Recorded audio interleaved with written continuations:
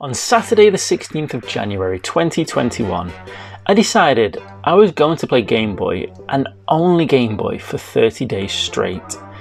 It seemed like a good idea at the time, but I wasn't quite prepared for what would happen.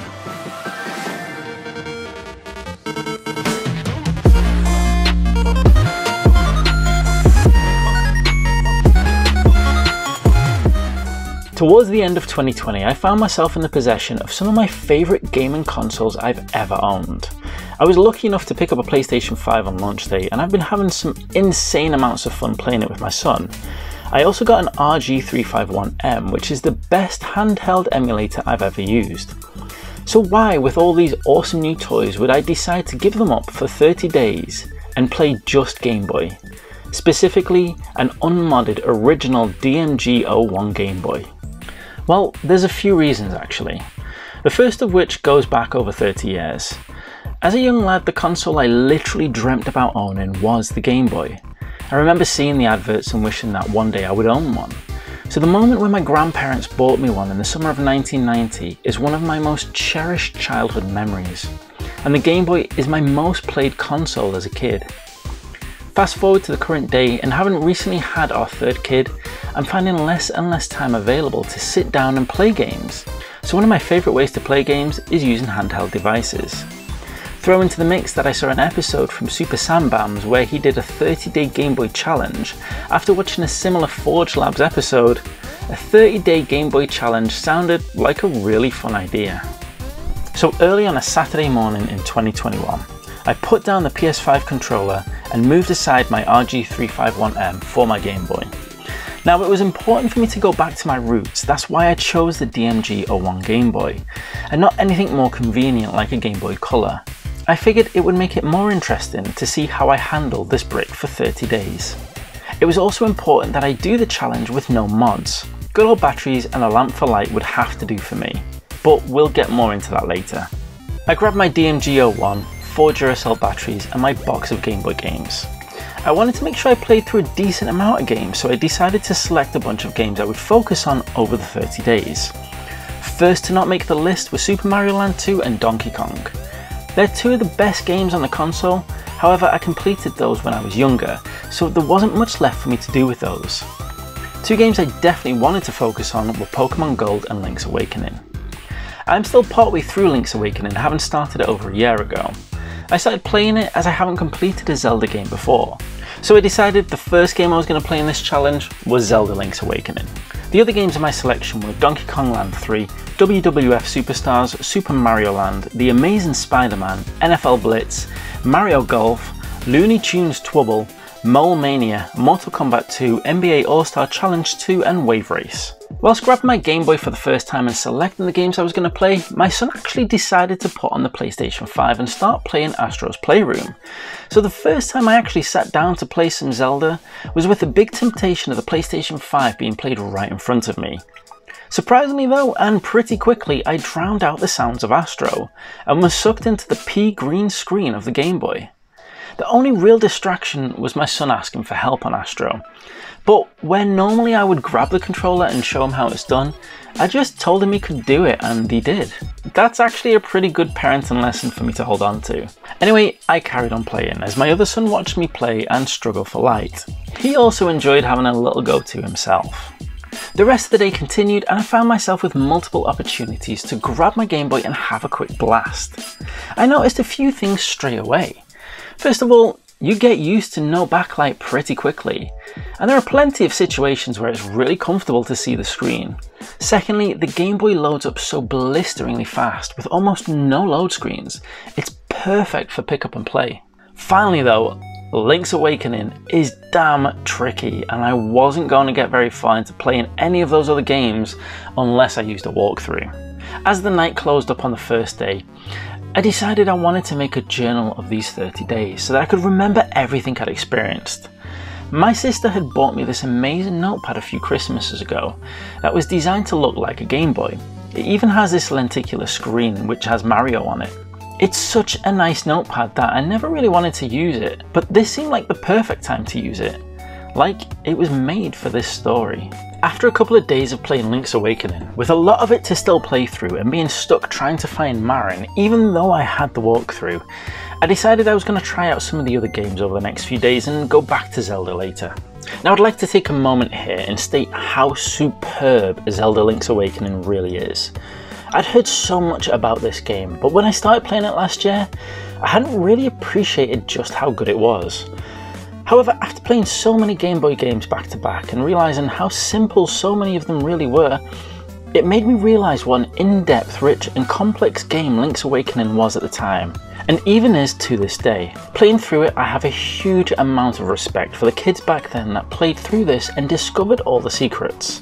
Secrets that sometimes gave no clue as to where they were or how to access them. Honestly, without a walkthrough, I would have struggled. And there were many times I thought, how on earth would you discover these things? I guess I have a lot less time to explore these days, so my patience is less. I do kind of wish though that I'd explored this wonderful environment of Links back when I was a kid and had all the time in the world. On the third day, I didn't get a chance to play any Game Boy, as I had a lot of work to get through as well as helping my son with schoolwork, but I couldn't stop thinking about playing Game Boy. I started thinking about games I always wanted as a kid, Games like Mortal Kombat 1. Games I didn't even know existed when I was younger and wish they had, like Street Fighter 2. And games I wish I'd never given away, like Pit Fighter. Pit Fighter is a game that always makes me think of my dad. It reminds me of how he used to drive me to the local cinema just so I could play on the Street Fighter 2 arcade because I didn't have a console at home that could play it. Also, it wasn't available for the Game Boy at the time, I wanted to have something, anything like Street Fighter 2 to play at home. So on the way back one day, my dad stopped at Toys R Us and he bought me the closest thing that we could find to Street Fighter, Pit Fighter on the Game Boy. It was fun, but it was definitely no Street Fighter 2 replacement. But I still love that my dad got me it. A few years later, I ended up swapping it for a copy of NASCAR, a game that I really do like, but I wish I hadn't because I wish I still had that copy of Pit Fighter. I didn't really appreciate it at the time, and thinking of it brings back those great memories with my dad and him taking me to play the Street Fighter 2 arcade, a man who otherwise is not really into video games. Day 4, and I was logged back into work. Thankfully though, Game Boy is great for those dull meetings. I decided to play some Spider-Man. If Pit Fighter is the game that makes me think of my dad, Spider-Man is the game that makes me think of my mom. She helped me to pick it on one of those rare occasions when I had enough money to buy a new Game Boy game. Once again though, I don't own my original copy of Spider-Man. The story with that one is that I lent the game to a friend who then dropped his Game Boy in the sea with Spider-Man in it. His Game Boy survived, but my Spider-Man game didn't. When I think about it now, what the heck was he actually doing playing Game Boy in the sea? But anyway, back to Spider-Man the game. It's actually a lot easier than I remember it being, and the music is so good. However, I still could not complete it though. The next game I played was Mortal Kombat 2. The music in that is so good too. I remember getting this as a kid. Whilst nowhere near the arcade game, I was absolutely psyched to be able to play as Sub-Zero on my Game Boy. I also remember trying to access the secret smoke level. There was this guy that would always pop up in the corner randomly and you had to press select and B I think. I only ever managed to do it once as a kid, and I still can't do it to this day. That guy is just too damn fast for me. Day 5 was a bit of a tough one. I started to get sick of playing Game Boy. It wasn't helped by the fact that I hooked up a PlayStation 2 in my son's room and he started playing Burnout.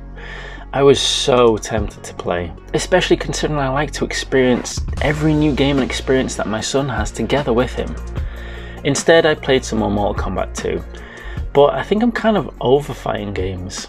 I still love it, but I was just losing interest. Having said that, the next day I decided to switch things up a little bit and play WWF Superstars. Now, I really enjoyed this. Again, the music is great. We're starting to see a bit of a theme here. But I also really like the graphics. There are some really nice details to this game. My son came over to see what I was playing. He said, that's crazy. It looks like nothing, it's just a green place with some people. Well, to me it looks great anyway. Realising I was going to be swapping through games quite regularly, I needed to find a way to carry my games around, so I found a little drawstring bag, and that did the job perfectly. I can't actually remember now though how I used to carry games around as a kid. I might have just focused more on a couple of games at a time, I'm not sure really. I did start to find that my attention span for these games was pretty short. I don't know if it's because I was trying to get through as many as possible or if it's the games themselves. Nevertheless, the next game I played was NFL Blitz. At first, this seemed like a hot pile of garbage, and nothing like the NFL Blitz game I love on the PlayStation 1. There's no music, absolutely terrible sound effects, and there's some really weird graphical issues going on. But after a couple of goes, I actually started to enjoy it. I guess the strategy of American football is enough to make this game fun. Next up was some Super Mario Land. Now man was that a nostalgia rush. Great music, controls, level design and gameplay. I put quite a bit of time into Super Mario over the next few days, and at one point I was doing brilliantly with 11 lives and on World 3, at which point I lost all my lives making stupid mistakes in a matter of minutes. The nerves just got to me, but it's exactly that kind of game. Next on the list was NBA All-Stars 2. This was a game I played loads as a kid and it holds up pretty well.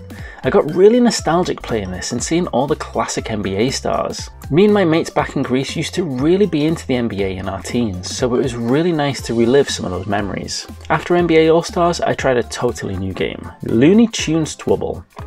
Now that is a weird game. I thought it might be good as I really like the Bugs Bunny Crazy Castle game, However, it started off as this like crappy platformer, then it kind of turns into an isometric exploration game. I didn't play that for too long and I don't think I'll be going back to that. I also noticed around about this time that every single cart I used needed me to blow on it to work properly. It's not a myth people. Now I know blowing on the carts isn't the best thing for them but I did it as a kid so I'm doing it now. But at this point I was also starting to crave something a little bit different. I was starting to crave something with a bit more quality. Now, Mole Mania is a game I heard about through a recommendation from the MJR crew. I've had it for a couple of years, but I've never played it. It's the lesser known game by Mario and Zelda creator Miyamoto, and what a charming game it is. It's a tricky puzzle game, but so well designed. It reminds me a little bit of Kwirk. The thing I really like about this is it's a pure pick up and go game. And you can also tell that is a game that was created later in the Game Boy life cycle as it is designed with a lot of quality of life improvements like autosave for example. I really like Mole Mania and I ended up putting quite a lot of time into it. As I approached day 10 I started to realise I was distracted from all these other games. I really wanted to play Pokemon. I couldn't resist the urge anymore so I decided to pop in Pokemon Gold. At which point I realised the save battery was dead. Now, unlike in the Forge Labs videos, I didn't want to turn to an emulator as it feels a little bit like cheating. At the end of the day, I want the full Game Boy experience like I had as a kid. So I had two options, replace the battery or buy a repro cart. With both options coming in at the same cost, I decided to order a new battery and a repro cart and go with whichever option came first. As I waited to play Pokemon, I played some more Mole Mania, beating the first boss. But it was at this point I couldn't handle not being able to play in the dark anymore, so I reached for my Light Boy. This thing is such a beast, and I remember how blown away I was when my mum got me it one Christmas years ago. I didn't know anything like it existed, and I used it pretty much all of the time. It still works every bit as good now as it did back then. The next game I got around to playing while I waited for Pokemon was Donkey Kong Land 3, and I had really good fun with this. The music is great and the controls are really fluid although I'd argue that the graphics are a bit too ambitious and complex for the small Game Boy screen. I had a lot of fun with this, but I didn't put a lot of time into it. After having played through most games on my list, I decided to start focusing on a select few games that I was really enjoying. As I still waited for my Pokemon Gold solution to arrive, I started to think I might not even bother with Pokemon Gold. I might play Yellow instead. I've completed Red in the past, but never Yellow. Also, I have Soul Silver on the DS, so I might save my Gen 2 experience for when I can play the DS. Saying that, I'm really starting to crave playing other consoles right now, like the DS. Just as I decided to play Pokemon Yellow instead, that same day, the Pokemon Gold Repro and battery arrived at the same time. I decided to go ahead and replace the battery, which turned out to be really easy. With a working Pokemon Gold Original and Repro cart, I went on to play Pokemon Yellow. The thing I really love about Pokemon Yellow, and all Pokemon games on the Game Boy actually, is the fact that it's so easy to play one-handed.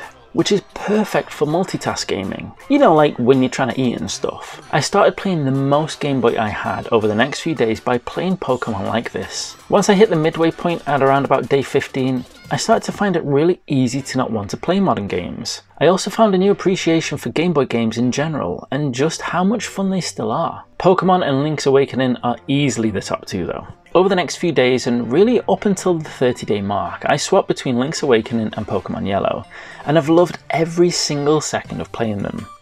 I've also realised how easy new Pokemon games are. They should really add a harder difficulty level in the new games that takes away a lot of the handholding that's been introduced over the years, because it was the challenge that made Pokemon so great.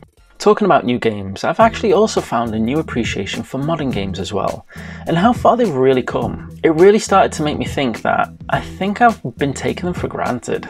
As I entered the final week, I really didn't want the challenge to be over. I was just having too much fun. I also decided as well that as I'd gotten so used to a non-backlit screen, it wasn't really providing a challenge to me anymore. And as I was so close to the end anyway, I decided I was going to install the backlight mod that I've had sitting around the game room for months. That proved to be trickier than I expected, and I actually thought I might end up breaking my Game Boy literally days before the end of the challenge. It took me a few hours to install, and in the end looking back it wasn't really that hard. I guess I was just a little bit scared whilst doing it. But whilst doing that, I also took the opportunity to fix some of the deadlines that had started to appear on the screen. That's actually a really easy fix if you use your soldering iron, and it's something I'm really glad I did. The end result though with that backlight screen is absolutely stunning. Even though I was fine with a non-backlit screen, this upgrade just takes the console to a whole nother level, and I recommend it to anybody who has an original Game Boy. It was a really nice way to enter the last week the last week, which might actually have been the most eventful and challenging. On day 26, I had to go for my COVID vaccine. Now, I'm no stranger to flu vaccines, so wasn't really phased. As I entered the sports hall, all of a sudden, everything felt a lot more daunting than I expected. Rows of people sat in a barren open sports hall waiting to be vaccinated. It looked like something you'd expect to see during wartime. I've always taken the COVID pandemic very seriously, but seeing this really cemented the scale of it all. I'm not gonna lie, I got pretty anxious. As I waited, I whipped out my Game Boy and got lost in a world of Pokemon. And everything relaxed. As I played, one of the staff said, Wow, I've not seen one of those in years. That really takes me back. Then she started reminiscing about playing Tetris. That was really cool. On day 27, the rest of the Retro Refresh crew had started playing on Antstream, a cloud-based retro gaming service. The cool thing is, it's really social based, in that you can challenge each other. Sega Head, Jamie from the Button Bashers, Retro Gamer Boy and Telesplash Gaming all kept on talking about these challenges and how they were taking part in them and I really, really wanted to join in the fun, but I was only a few days away from the finish line. I couldn't give up now. On day 28, my son, who actually hadn't played that much on the PlayStation 5 over the past month, or any other console really, started playing Ratchet & Clank, a game I've wanted to get round to for ages, and it looked so good. But again, I couldn't give up, I was so close. Although I was not going to finish them, I focused on Zelda and Pokemon for the next few days. Day 30, I made it. It's amazing how quickly it's passed to be honest. I'm not even sure if I'm ready to put down the Game Boy yet. One thing that really has amazed me is how I haven't had to change the batteries once, even with the backlight mod added. And I've put in some serious time as well. As day 30 came to a close, I reminisced over the past month. It has been really nice to get some quality time in with my Game Boy. A console that has meant so much to me ever since my grandparents surprised me with it that summer night over 30 years ago. I still love collecting games for it, but like with Mole Mania, I never really sat down to play with them. One of the big things that put me off was no backlight, but that really turned out to not be an issue. Maybe the fact that I was in lockdown made it easier as I was mostly at home with decent lighting, but nevertheless I got used to the screen in a matter of hours. Fixing the Pokemon Gold cart as well as installing the backlight mod was great fun too, and really gave me the confidence to do more stuff like that in the future. I'm actually thinking of modding my son's Game Boy Pocket next. I've also started to look at modern games differently too. As we progress through the generations, it's easy to forget just how far we've come. Even if you do play retro games like I regularly do, you don't really realise unless you go cold turkey. One thing is for sure, when I finally got around to playing Ratchet & Clank, I absolutely loved it. more than I have any other modern game in a long time. Sure, it's a great game, but I have no doubt it's due to me approaching it from a totally different perspective. The modern graphics are just so gorgeous too. And graphics are usually my least important aspect of a video game. But after staring at a Game Boy screen for 30 days, you see modern graphics in a completely new light. So what happened next? Was that it for playing Game Boy for another 30 years? Heck no, I've still got Pokemon Yellow and Link's Awakening to complete but I am enjoying getting back to my gaming freedom. Now, I really, really enjoyed this challenge over the last 30 days, way more than I ever expected. It's really made me approach video games from a completely different perspective and found an even greater and deeper love for them. Whilst I won't be jumping into any challenges like that immediately, because there's a lot of PlayStation 5 games coming out this year that I'm really looking forward to, this is definitely something I think I'll be doing again. I just have to think about which console I'm going to focus on. I hope you've enjoyed this story and sharing my journey with me, and I hope you join me for the next one too. If you want to show your support for Chronik Spartan games, then you can head on over to chronikspartan.com and check out our indie games. You can become a Chronik Spartan patron at patreon.com, or you can kick off your shoes and relax your socks with some Chronik Spartan merch from teepublic.com. All links are in the description below. But the simplest and easiest way to show your support is to just hit that subscribe button.